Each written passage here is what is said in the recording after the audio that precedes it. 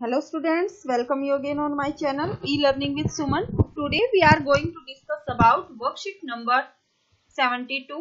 बच्चों आज की जो हमारी वर्कशीट है जो हम वर्कशीट करने जा रहे हैं 72 सब्जेक्ट है हमारा इंग्लिश क्लास टेंथ डेट है हमारी थर्टी फ़र्स्ट ऑफ़ दिसंबर की हम वर्कशीट सोल्व कर रहे थर्सडे वाली इंग्लिश की जो हमारी वर्कशीट है और टेंथ क्लास की अभी हम वर्कशीट कर रहे हैं बच्चों आज की जो हमारी वर्कशीट आई है उसका जो टॉपिक रहने वाला है हमारा फ़र्स्ट फ़्लाइट जो हमारी बुक है, chapter eleven. First flight book का चैप्टर इलेवन है। प्ले है जो एक, the proposal playwright Anton Chekhov इसकी जो है प्ले राइटर है। Read the extract from the play and answer the question जैसे कि लास्ट प्रीवियस वर्कशीट में भी हमने नाटालिया और जो लोमो है, उसकी आपस में जो डिबेट थी, जो कहा सुनी थी मतलब वो हमने सुनी थी, किस किस बात को। वैसे तो जो लोमो है, वो थर्टी फाइव ईयर्स ओल्ड है। ठीक है? और इसको वो एक क्रिटिकल एज मानता है अपनी एज को क्रिटिकल एज मानता है और वो मानता है किसी जल्दी से शादी कर ले, लेनी चाहिए।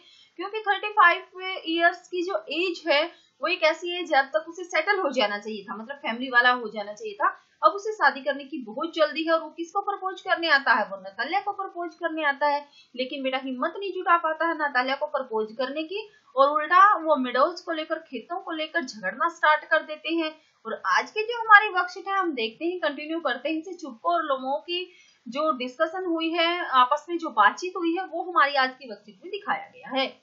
Chubukov dear one why all like that Chubukov कहता है, चुपको कौन है? नतालिया के पिताजी है, ये भी एक लैंडलॉर्ड है, ठीक है? अच्छे रिच फैमिली से बिलोंग करते हैं और इनकी बेटी है नतालिया। और लोमो जो है, इनके नेबर हैं, पड़ोसी हैं, ठीक है? तो चुपको है, कहता है डियर वन किसको कहता है? लोमो को। Dear one why like that तुम इस तरह क्यों चिल्ला रहे हो? यल होता है चिल्लाना, ठीक है?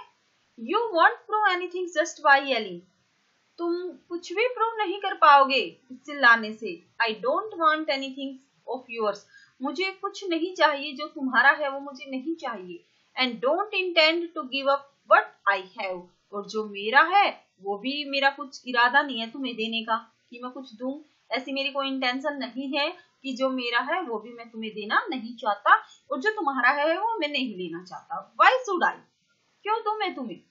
एंड यू नो तुम जानते हो माई ब्लड मेरे प्यारे that if you propose to go on arguing about it अगर तुम इसके बारे में ऐसे ही आर्ग्यू करते रहे, ऐसे ही डिबेट करते रहे I would much sooner give up the meadows to the peasants than to you there मैं अपनी मिडोज है किसको देना पसंद करूँगा? मैं दे दूँगा गिव अप त्याग दूँगा, किसको दे दूँगा? पिजेंट्स को दे दूँगा, लेकिन तुम्हें नहीं दूँगा। ठीक है? I would much sooner give up the meadows मैं त्यागने के लिए तैयार हूँ, मैं देने के लिए तैयार हूँ, लेकिन किसको दूँगा? पिजेंट्स को दूँगा, किसानों को दूँगा, तुम्हें नहीं दूँगा। ठीक है? लोमो आई डोंट अंडरस्टैंड मैं, मेरी समझ में ये नहीं आ रहा, मैं नहीं समझ सकता। How have you the right to give away somebody else property कि आप किसी और दूसरे की प्रॉपर्टी है, और आप कैसे दे सकते हो? आपका क्या अधिकार है उसे देने का? कह रहे हो, आप किसानों को दे दोगे? कैसे दे दोगे? वो तो मेरी है, क्योंकि जो सनमिडोज है, उन पर तो मेरा राइट है, वो तो हमारी फैमिली की है, आपकी है ही नहीं। तो आपको क्या अधिकार है कि किसी दूसरे की प्रॉपर्टी आप किसी और को दे दोगी? Chubukov you may take it that I know तुम जैसा भी चाहो मतलब सोच सकते हो आई नो मैं जानता हूँ whether I have the right और नॉट ठीक है? क्योंकि मैं जानता हूँ उन पर अधिकार किसका है। मेरा अधिकार है या नहीं, ये मैं जानता हूँ अच्छी तरह से। Because young man I am not used to being spoken to in that tone of voice वैसे मैं आपको तुम्हें बता दू यंग मैन मुझे आदत नहीं है। I am not used to मैं इस चीज़ का हैवी मैं इस चीज़ का आदि नहीं हूँ कि कोई मुझसे इस इस टोन में बात करे। Being spoken to in that tone of voice and so on इसलिए तुम भी क्या है? थोड़ा मतलब ऐसी टोन में बात मत करो। Young man I am twice your age मैं तुमसे दोगुनी एज का हूँ। मतलब तुमसे बड़ा हूँ। डबल एज का हूँ। And I ask you to speak to me without agitating yourself and all that और you to speak to me और तुम्हें भी मुझे बातें करनी चाहिए विदाउट एजिटेशन के। बिना किसी क्रोध के मतलब क्रोध की भावना के नहीं, प्यार से yourself and all that ठीक है? और वैसे ही बात करो। मतलब यहाँ पर चुपको और लुमो के बीच बात चल रही है मिडोज से रिलेटेड ही। अब दोनों फिर, जैसे पहले तो नतालिया और लुमो के बीच चल रही थी, अब चुपको भी उसी पॉइंट को लेकर बैठ जाता है। चुपको भी कहता है कि हाँ उक्सन मिडोज तो हमारी है, तुम्हारी तो है ही नहीं उस पर तो हमारा राइट है। बेटी तो कह रही थी, पिताजी भी यही कहने लगे। ठीक है तो अब झगड़ा उनका और ज़्यादा बढ़ जाता है ऐसे करके। वो कहता कि नहीं, मेरी है, वो कहता नहीं मेरी है, फिर वो चला जाता है। फिर उसे नतालिया को पता चलता है कि लोमोत उसे प्रपोज करने आया था, फिर वो रोने लगती है। फिर उसके पिताजी बुला के लाते फिर वो डॉग से रिलेटेड झगड़ा करने लगते हैं। ओके आगे देखो क्वेश्चन कर लेते हैं जो आज की वर्कशीट से रिलेटेड आए हैं। How did Chubukov want Lomov to talk to him Chubukov कैसे क्या कहता है लोमो को कि तुम्हें कैसे बात करनी है? Okay okay? तो how did Chubukov want Lomov to talk to him जो चुपको है, वो क्या चाहता है कि लोमो किस तरह बात करे? कालमली शांतिपूर्ण डिसरिस्पेक्टफुली रूडली या फिर एरोगेंटली तो कैसे चाहता? वो तो ये चाहता है कि उससे कालमली बात करे, शांतिपूर्ण बात करे। यही कहता है कि मैं तुमसे डबल एज का हूँ, तुम्हें बात कैसे करनी चाहिए? When Lomov says when Lomov says how have you the right to give away somebody else property? He means that when Lomov says जब लोमो कहता है how have you the right to give okay next question देखो हाँ। तो इसमें क्या है कि वैन लोमो लोमो जब कहता है कि तुम ऐसे आप मतलब दूसरे की जो प्रॉपर्टी है उसको किस प्रकार बेचने का अधिकार रखते हो? आप किस प्रकार मतलब किसी को दे सकते हो? आपको क्या राइट है? ही मीन्स दैट वो क्या कहना चाहता है? He is not sure who owns Oxen Meadows नहीं। He is the owner of Oxen Meadows and Chubukov has no right over them yes यही कहना चाहता है वो इस लाइन के थ्रू कि जो ऑक्सन मिडोज है, वो तो ऑक्सन मिडोज का मालिक लोमो है, वह है। को उस पर कोई अधिकार नहीं है। तो option B is the right which of the following statement is not true which of the following statement is not true कौन सा जो स्टेटमेंट इसमें ट्रू नहीं है? All the characters in the play are argumentative and full of pride second Lomov welcome ये true है। ये तो कि हाँ आर्ग्यूमेंटेटिव फुल ऑफ़ प्राइड से भरे पड़े हैं। Lomo welcomes the idea that Chupko can give away oxen meadows to the belong to him. नहीं, वो तैयार नहीं होता। तो ये क्या इसमें ट्रू नहीं है? Next they quarrel over their pet dogs yes ये राइट है, मैं बता रही हूँ बार बार आगे वो अपने डॉग से रिलेटेड झगड़ने लगेंगे। Lomov and Chubukov accuse each other of being unfair ये भी राइट है तो जो ऑप्शन सेकंड है, वो राइट नहीं है ट्रू नहीं है। तो option second is the right answer of this question next देखो the above extract the above excerpt from the play use the phrase give up give up होता छोड़ देना, त्याग देना मतलब मैं दे दूँगा। Which of the following expression is incorrect respect to the phrase give up give up hope हाँ कि छोड़ देंगे, त्याग देंगे। अनहेल्दी हैबिट्स भी हम गिव अप कर सकते हैं। डूइंग समथिंग वो भी हम गिव अप कर सकते हैं। पीपल गिव अप नहीं। तो ऑप्शन फोर जो है हमारा, इसमें इस गिव फ्रेज में सुटेबल नहीं बैठता, ठीक है? एक्सप्रेस उसका इनकरेक्ट बनेगा। तो ऑप्शन फोर्थ जो है पीपल वाला। नेक्स्ट देखो सेकंड थर्ड और फोर्थ क्वेश्चन इनका हमें आंसर देना है। How does Natalia react when she comes to know that Lomov had come to propose her for marriage okay इनके जो क्वेश्चन आंसर है आगे सेकंड थर्ड और फोर्थ के बेटा, ये मैंने आपको रिटर्न में दिए हैं, यहाँ से आप कर सकते हो इनको अच्छे से और समझ लो। How does Natalia reactive when she comes to know that Lomov had come to propose her for marriage Natalia कैसे रिएक्ट करती है जब उसे ये पता चलता है कि लोमो तो उसे प्रपोज करने आया था शादी के लिए? कैसे रिएक्ट करती है? When Natalia comes to know that Lomov had come there to propose her she was shock उसे बड़ा सोक लगता है। She cries, चिल्लाती है। Her stance and asks her father to fetch Lomo in. और फिर अपने पिताजी को कहती है अपनी टोनी चेंज कर लेती है। फिर तो कहती है कि लोगों को फेच फेच होता ले आना। लोगों को घर लेके आओ दोबारा। ठीक है? Chubukov laments over his destiny laments होता पछताना। रोना। ठीक है? Chubukov laments over his destiny of being the father of a younger Chubukov है जो एक यंग गर्ल के पिता होने की मतलब अपने भाग्य को कोसते हैं कि मैं क्यों एक यंग लड़की का पिता हुआ। Why does he call it a burden to be the father of grown up daughter? वो ऐसा क्यों कहता है कि मतलब बढ़ती हुई जो लड़की है ग्रोन अप डॉटर है, वो पिताजी के लिए बोझ है।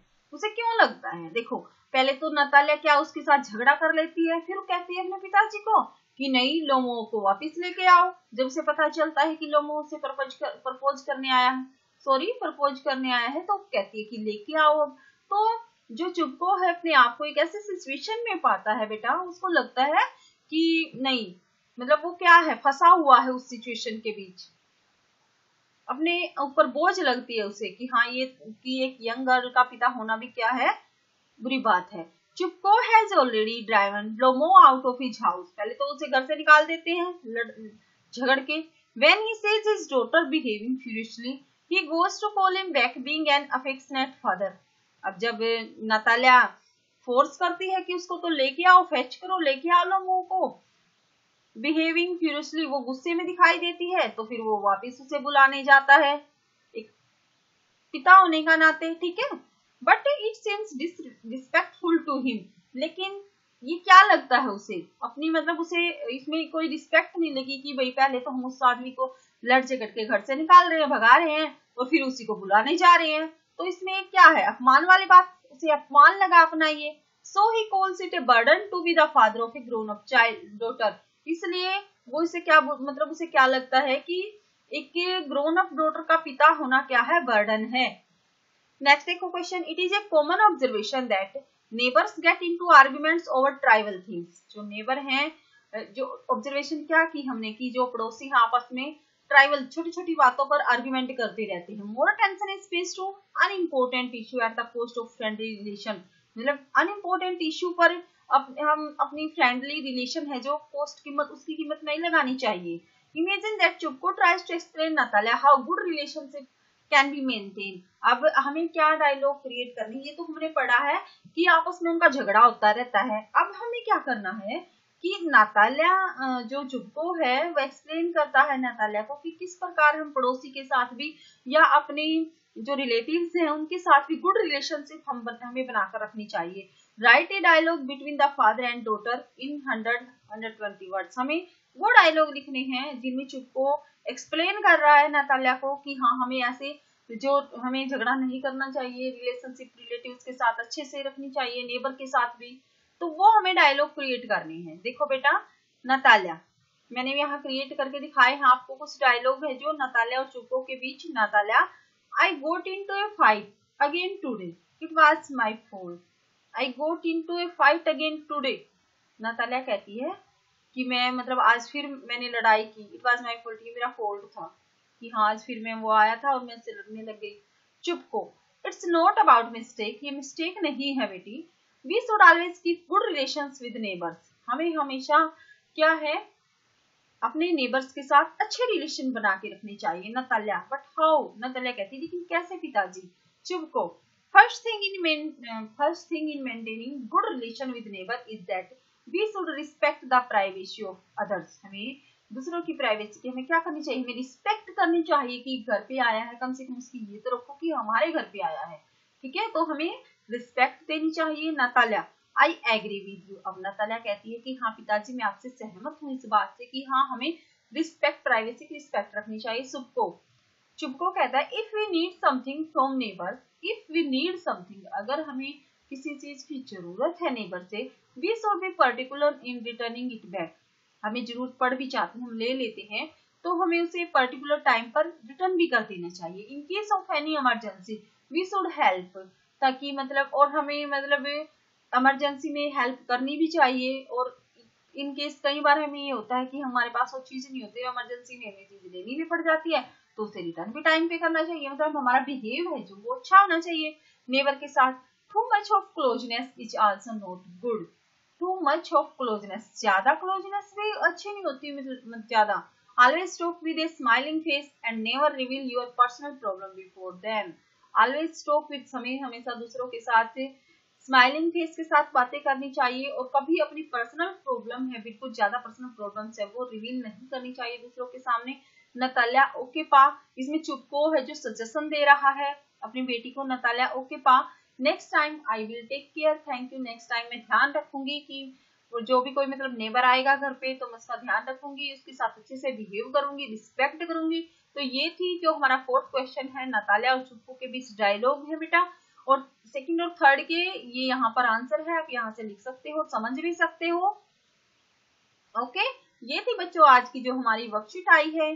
प्ले से रिलेटेड प्रपोजल जो हमारा प्ले है प्ले राइट एंटेन चेको के द्वारा लिखा गया है। अगर वीडियो आपके लिए हेल्पफुल है बेटा तो वीडियो को लाइक करें चैनल को सब्सक्राइब कर लें। Thank you have a nice day